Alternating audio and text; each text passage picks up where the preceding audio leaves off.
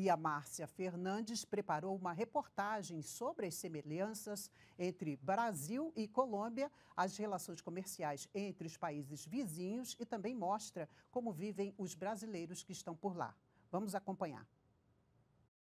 Brasil e Colômbia, países diferentes, história e idiomas diferentes, mas com costumes parecidos. Num passeio pelas ruas de Cartagena, cidade litorânea banhada pelo Mar do Caribe, é possível perceber semelhanças, como a paixão pelo futebol, a fé e a religiosidade, a comida farta, de sabores e cores. Super mandarinas.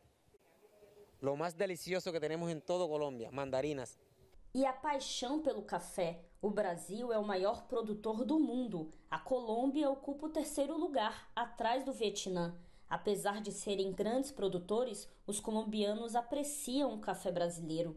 De janeiro a setembro do ano passado, foram 814 mil sacas de café verde vendidas aos colombianos, 3,8% do total de exportações do Brasil para o país. E o volume de compras tem crescido ano a ano. Os produtos mais exportados do Brasil para a Colômbia são os veículos, sejam eles de passeio ou de carga, as peças de automóveis e pneus. Juntos, todos esses bens representam mais de 20% de tudo que o Brasil vende para cá. A Colômbia vende para o Brasil ulhas, um tipo de carvão que é usado na indústria para a produção de piche, tintas e produtos de limpeza também vende PVC, inseticidas, formicidas e herbicidas. Nos últimos anos, o número de empresas brasileiras instaladas na Colômbia cresceu.